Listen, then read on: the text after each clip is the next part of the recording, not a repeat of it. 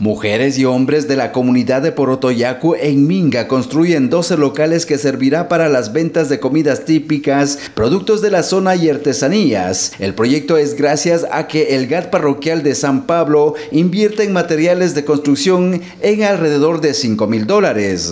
Bueno, nosotros estamos construyendo los estanes para el, emprendimiento que nosotros como comunidad eh, siempre cada año nosotros hemos sacrificado, entonces la Junta Parroquial nos ha dado materiales y la obra es no calificada, entonces la comunidad está haciendo minga. La venta de productos dinamizará la economía del sector. Son alrededor de 10 comunidades y barrios que se benefician de estos locales. Los comuneros del pueblo quichua de Roculiacta son netamente agricultores, por lo que era necesario ejecuten estos espacios que ayuden a solventar la economía.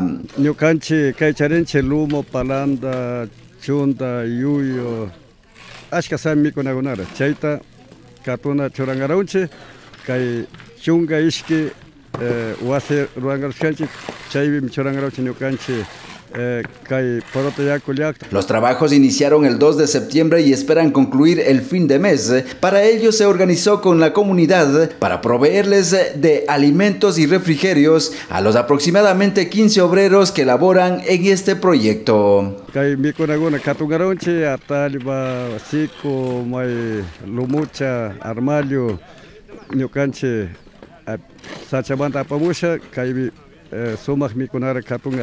Los habitantes del sector hacen la cordial invitación para que visiten la comunidad de Porotuyacu y apoyen adquiriendo los productos limpios y sanos. Con edición de Diego Acosta informó Segundo Toapanta Noticias al Día.